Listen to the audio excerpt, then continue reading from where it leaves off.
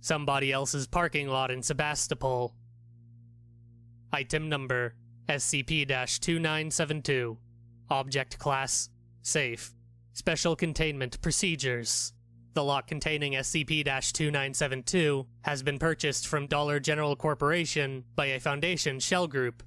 Footnote As part of the initial agreement of containment handover, 40% of the funding for the purchase of SCP 2972 was provided by the Federal Bureau of Investigation's Unusual Incidents Unit in exchange for Foundation responsibility for containment. Sawgrass Holdings. The building adjacent to SCP 2972 has been demolished, and SCP 2972 has been fenced in. Local Mobile Task Force 769AN, Klanga, will deliver one functioning motor vehicle to the premises of SCP 2972 at least once every 21 days to prevent the spread of SCP 2972's effect.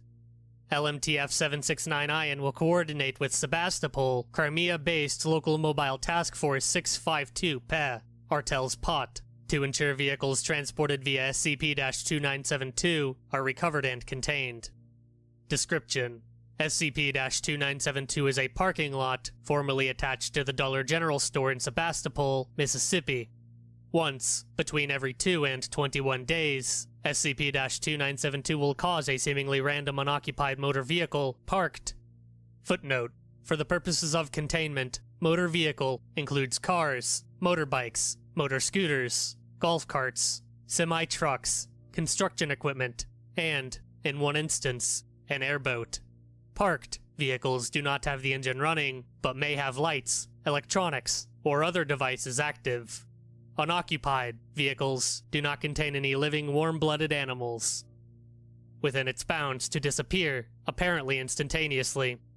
Footnote Atomic clocks on board five vehicles transported with SCP 2972 indicate no temporal desynchronization during the transportation event. The motor vehicle footnote, or an exact replica of the same secondary containment proposal. Simultaneously appears in a warehouse in the industrial district of Sebastopol, Crimea. The vehicle appears with all wheels, if applicable, touching the ground and aligned lengthwise with magnetic north, regardless of original orientation. Discovery SCP 2972 was discovered when four consecutive car thefts, believed to be the first events caused by the anomaly, occurred in the Dollar General parking lot in Sebastopol, Mississippi. Following the third vehicle disappearance, store managers installed a security camera in the lot. When surveillance footage showed the fourth vehicle disappearing between video frames, an embedded Federal Bureau of Investigation Unusual Incidents Unit agent in the Mississippi Highway Patrol took notice of the case. At the time of containment handover from the UIU to the Foundation, Agent Solovsky, footnote, employed by the Foundation as part of the containment agreement, now Deputy Director of Local Mobile Task Forces, Region 352, recounted the discovery.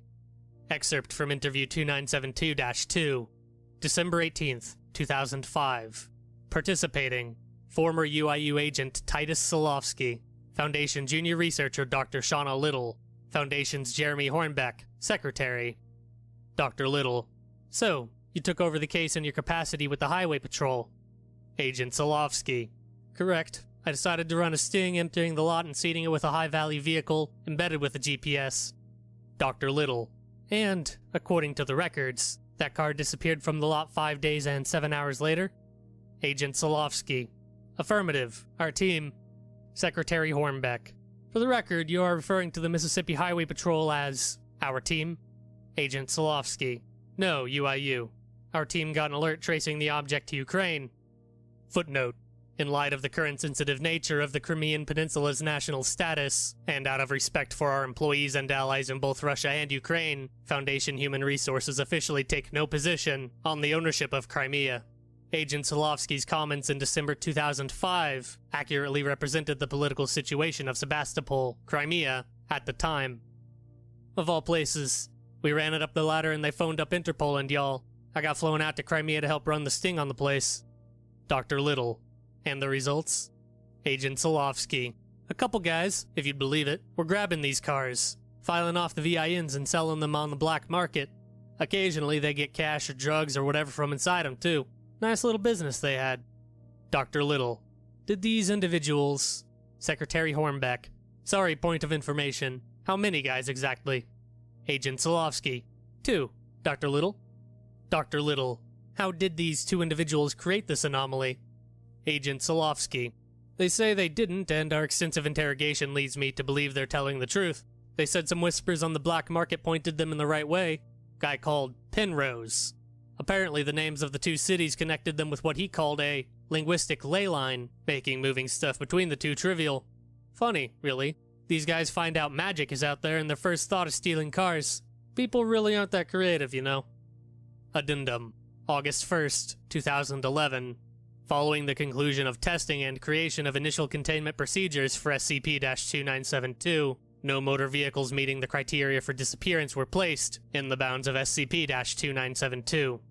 After 44 days of no anomalous activity, a vehicle belonging to the owner of a nearby service station spontaneously disappeared, appearing in the Crimean location. SCP 2972 was upgraded to Provisional Euclid by primary containment temporarily, with the classification returned to Safe two months later. New containment policies requiring the transport of a vehicle at regular intervals appear to have confined the phenomena again to the bounds of SCP 2972. Future car theft reports in the Leake and Scott County areas are to be closely monitored.